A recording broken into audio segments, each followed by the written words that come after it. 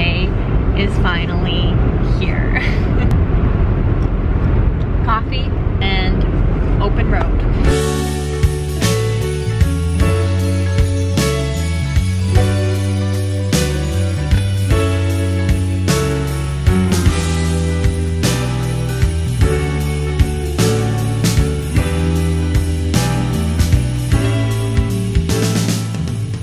We stopped in this little town. We are in the town of Bancroft. And the breeder told us there's one Tim Hortons and if you need to use the washroom, go now because then you're driving straight for 50 Continue minutes. for 56 kilometers. So we pull up to the Tim Hortons and it was closed and there's like, it's closed by like a cardboard sign that says closed until, and then we couldn't meters. see. We pulled into the gas station across the street and we're gonna stop here to use the washroom before we go pick up our cavapoo.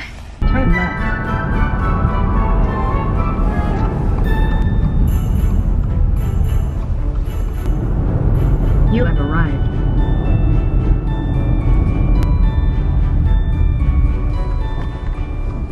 Oh, the puppies are running. Oh my gosh.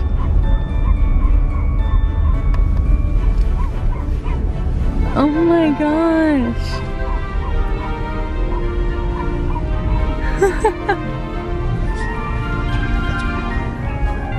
oh my god.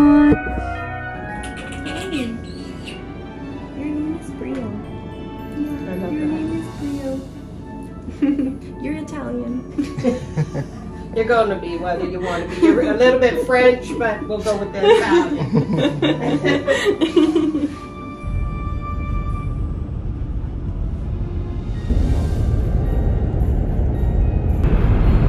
We have a sleeping baby. Oh, he's really frightened, and he keeps shoving his face in my armpit to hide. And he's not doing it right now, but he was putting his face in between my armpit because he was scared. But he's sleeping. We're just driving home. We're so in love with him. We have a long drive, so I packed the sandwiches. He was sleeping, but now he's awake. No human food for you.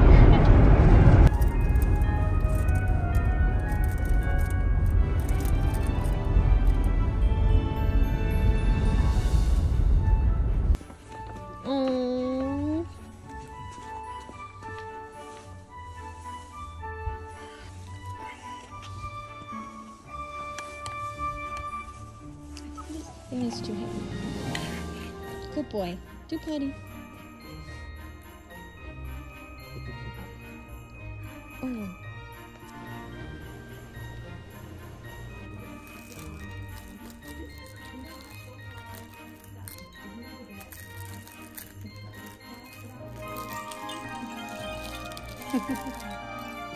oh, your toy fell.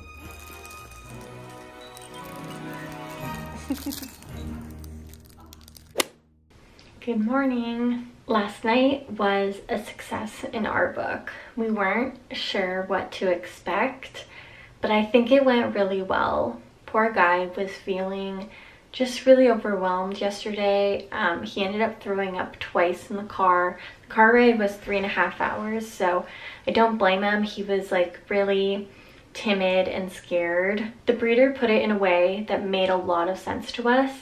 She said, This is the best day of your lives, but the worst day of his. And I totally understand. Like, he is taken away from his parents, his mom, and his siblings, and the environment that he's known his whole life, and now is like brought into a new environment with new people.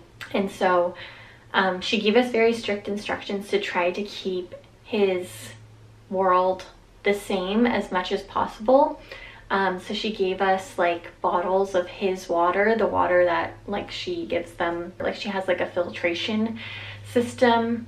And at first that didn't make sense to me. I was like, ah, water's water. But then I was like, no, you know when you travel somewhere and like the water tastes different?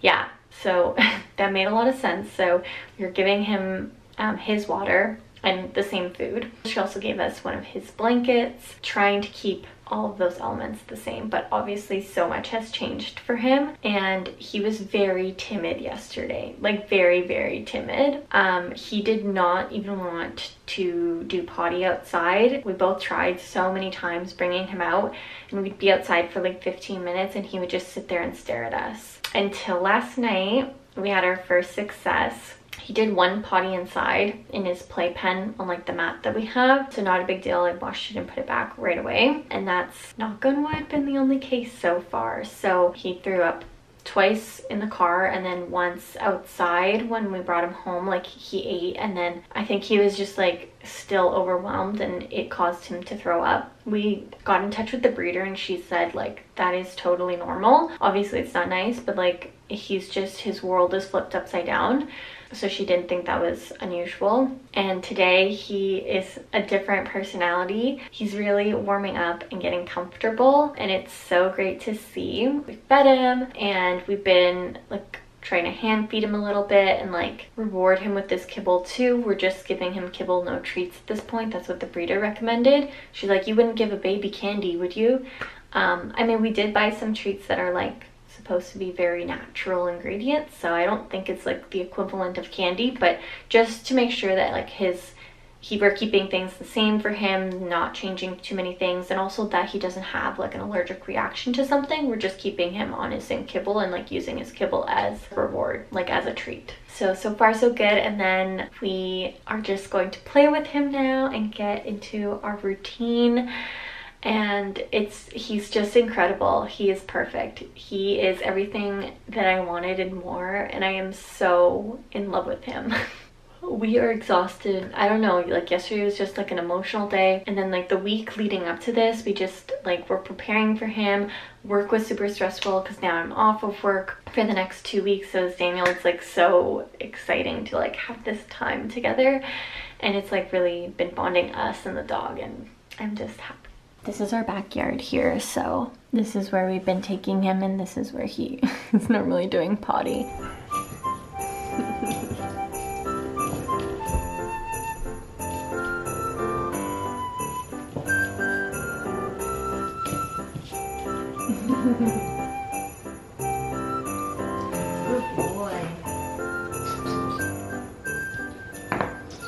Getting him comfortable with his crate. He slept in it well last night, but we didn't have a chance to like, he was so timid yesterday that we didn't have a chance to like properly warm him up to his crate, so.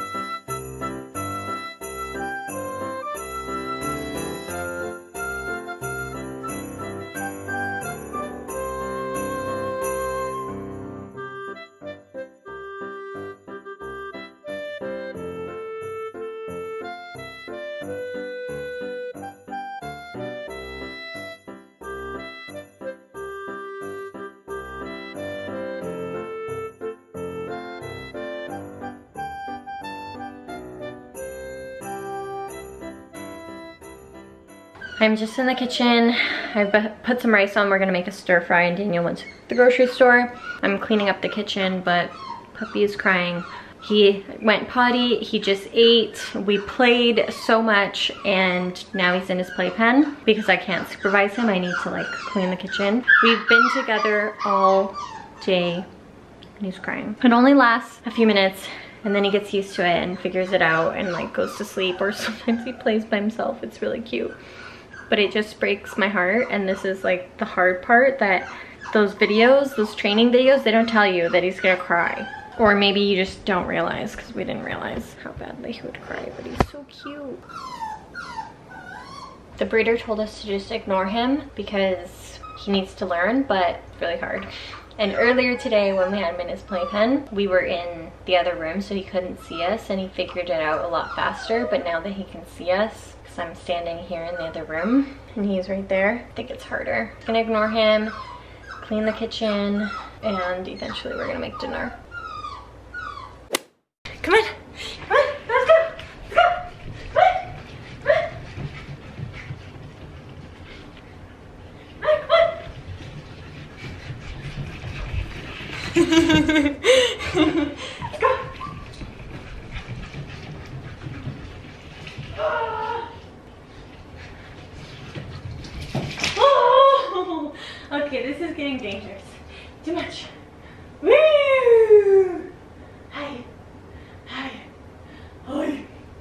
Hi, baby. Hi, baby. Hello. This is my third day at home, and I'm so confident now. I even tried to jump off the couch. we just came back in. Mm, he's such a good boy. He just did the morning in his crate after he played and peed and pooed and ate and drank. Then he just did an hour and a half in his crate. Well, in the playpen, but he decided to go in his crate. And then I just took him out for potty. And now we're running up and down the hallway. he's biting at everything, he's teething. You're such a good boy though. You're such a good boy. Now he's tired. Okay, go in your playpen. I love you. He's doing so well with his potty. I'm so proud of you. I'm so proud of you. Okay, time to go in your crate. Mwah. This is the hardest part, just letting him cry. But he has everything he needs. All his needs are met. He just wants to play and be with me. Brio likes ice cubes. Get that out of your way. He doesn't know where to go.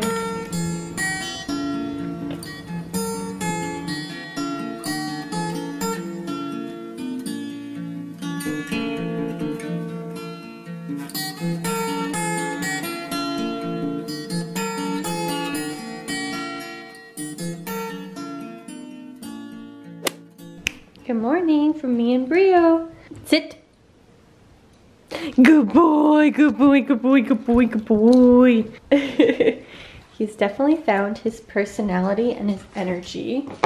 It is currently 7.24 and this is our morning routine. what you missed is our potty break. I got him up, well he got up at 1 well, we got him up at 1, took him out for potty, and we got him up at 4.45 or 5, and then now I'm up with him at 7. He did potty, did it right away, and then I take him in the bathroom with me while I go to the bathroom and wash up, and then now we're here. So I'm turning on my coffee maker, which I just did. and I'm gonna feed him because he's crying. So we are starting to transition his food today. So this will be day one. Um, Daniel actually measured it all out in like the 10 day process. So we measured it out in like 10 Ziploc bags and labeled them day one to day 10 with the dates. So I'm just gonna grab the bag from day one and give him a third of it and then he eats three times a day. Probably not very good that I was holding him and he was crying and then I put him down and he thinks that if he cries I'll put him down but we're learning here. These are all the bags that I was talking about. So this is day one. Today is December 22nd. And then all the other bags are in here and I ordered them from day one to day 10 at the back. So we use some of his food for training. Sit.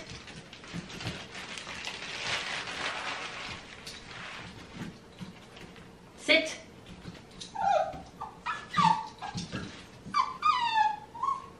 Good boy.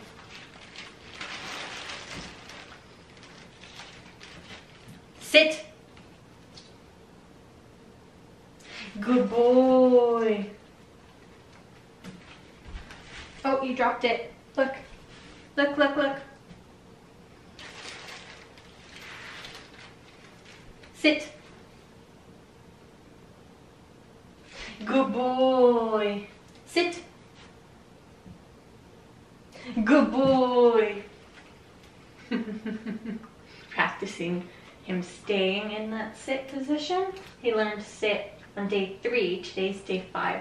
So he's very smart, but we're just trying to reinforce it now, so making him stay longer and also in different areas of the house because we normally do this here in the kitchen, so he's used to it in the kitchen, but we're trying in other areas. Sit.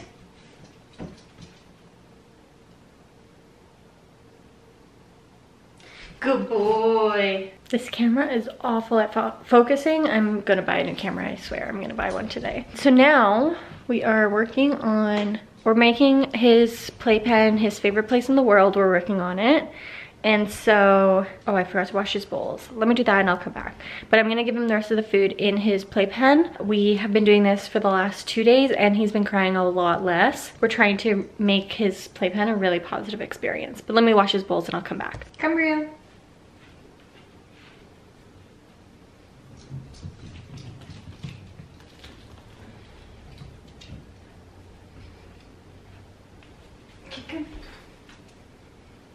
We realized we were underfeeding him because the instructions on the back of the bag, we are going by the weight that he is right now, but we have to go by his target weight. I think we've been underfeeding him for the last three days, so now he's getting his proper amount. We're transitioning his food, so it's very gradual. This is mostly his same food, just a little bit of, I think it's like 10% new food. And we're also trying to make sure it's like the only thing that we're changing for him today so that if there's any change in behavior or, or a reaction of any sort, maybe an allergy, that we can isolate it. Now we're just gonna do a morning play in here to continue positive association.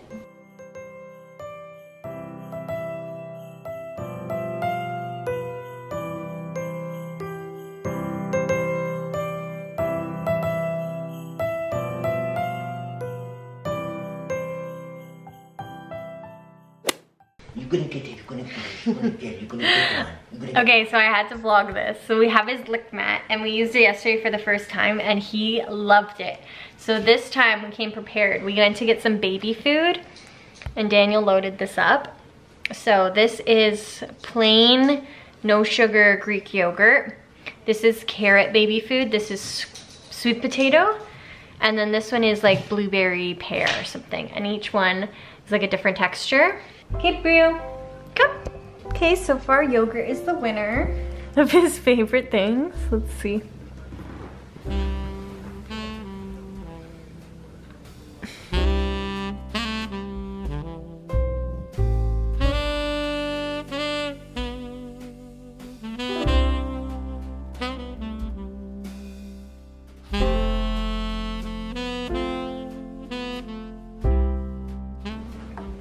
12 minutes later, this is what's left over. He didn't really like the carrot too much and maybe the sweet potato. And this is his face. oh my god, you're so cute, but so messy. Did you like that? I just cleaned up the kitchen from dinner and making his lick mat for tomorrow so I can put it in the freezer.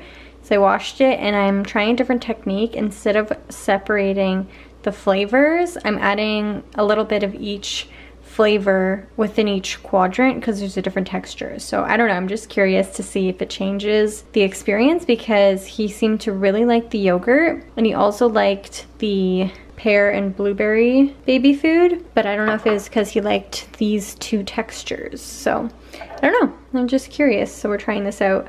Also put some sweet potato and then some yogurt. I'm officially done with this camera. It doesn't autofocus. I don't know what's wrong with it, but I ordered a new one. So the next vlog will be better. Thanks for sticking with me. Today has been, oh, I have the hiccups. Today's been so much better.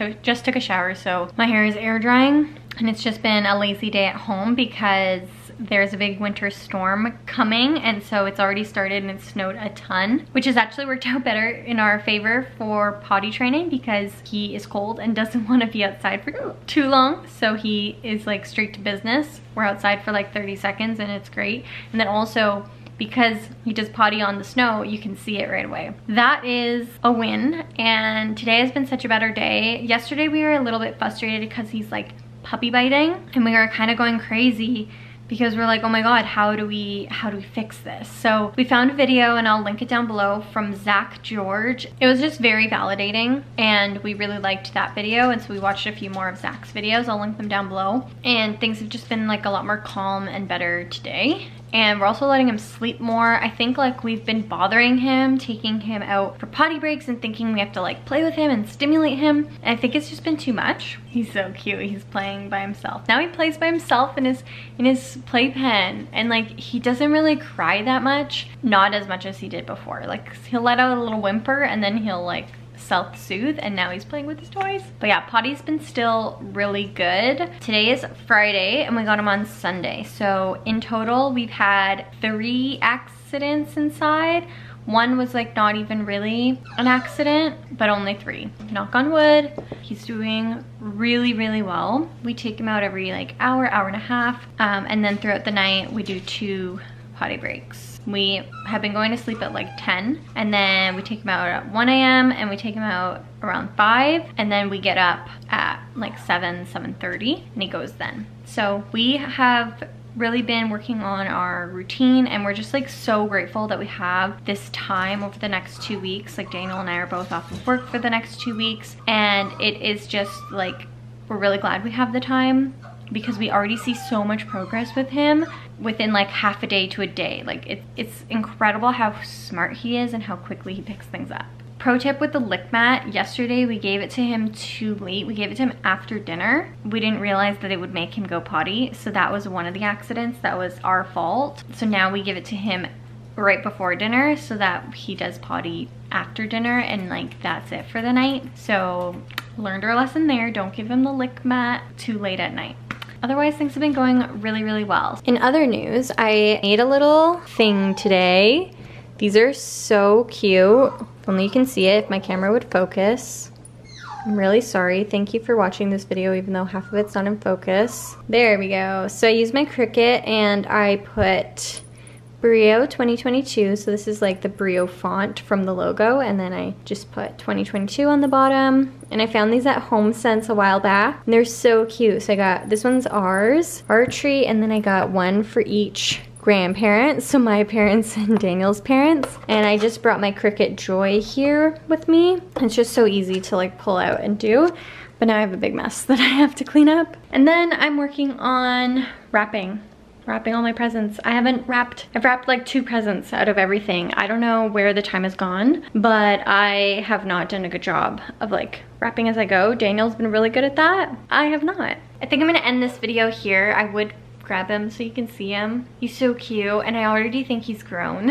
I've been taking pictures of him in the mirror every morning, like me holding him, so I could measure like his growth and see how much he changes because on the day-to-day, like you can't see it, but I already think he's grown. Um, he likes being brushed. He likes to chew. Oh, I have to show you like the Lifesaver teething toy that we got. We went out yesterday out of kind of desperation because he was like trying to chew everything. We were frustrated with the nipping because he tries to like bite and um, we found something that goes in the freezer and it's so soothing. It's a Nylabone, so I'll show you in a second. Um, it's cool because it like changes color. It's like orange when it's frozen and then once it like warms up to room temperature, it's yellow, so you know, put it back in the freezer. Um, so that's been a lifesaver. Anyways, um, actually, he's not crying. Let me grab him for a second. This is Brio. You're so cute. Look here, look here. Oh, who do you see? That's you. That's you. I'm a good boy Brio. Follow me on Instagram, good boy Brio. I will continue vlogging and documenting this journey, but I'm gonna end this vlog here. Thank you so much for watching. I hope you have a very, very Merry Christmas, Happy Holidays, and I will see you in my next vlog with a better camera because this one doesn't focus on my face anymore. All right, talk to you later. Bye.